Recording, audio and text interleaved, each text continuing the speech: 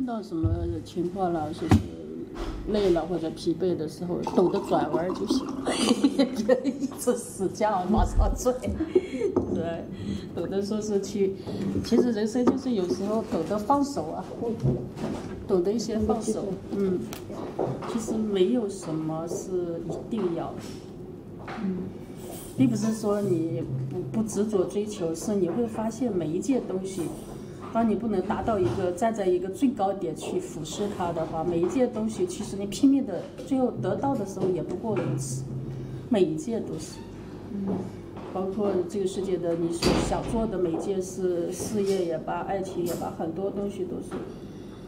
当你历尽历尽呃也历尽呃过来了啊，历尽很多磨难得到的时候，其实不过如此，那个不是你。不是你不知足，知道吧？也不是你贪，是你没有了知真相，就没有了知这个世界很多事情的真相，你永远探讨不尽的。就是比如说一件事情，或者情感，或者是呃婚姻、爱情，或者是未来你想做的每件事，其实旅行或者是什么国内国外等等，在地只要在地球上转悠，其实你最终了悟的是。就是真的是你，你活在这个世界，有说生命的意义。当然说很多人去，为什么很多去探索？但是为什么老是搞不清楚呢？有各种不同的答案。生命的意义，其实如果他着这个，这就是我们《金刚经》说的，你着这个人像，着这个物像的话，你永远搞不清楚生命的意义，因为你就已经被没被迷惑在里边了，迷惑在自我的觉受啊，自己的一些情感啊，自己的里边了。你不是个旁观者，在生命。你没有跳出生命外边去看生命的意义，你永远看不清楚。嗯，你不知道的。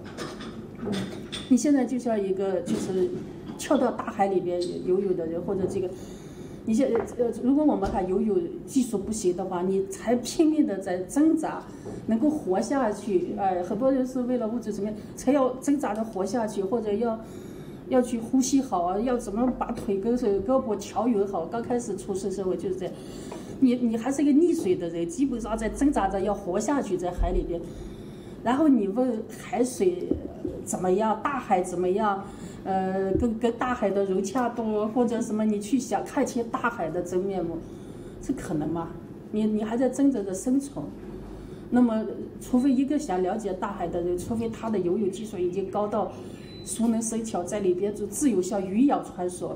这事情已经不知大海的存在，像鱼一样在海里游动。然后呢，要么就站在海岸上旁观，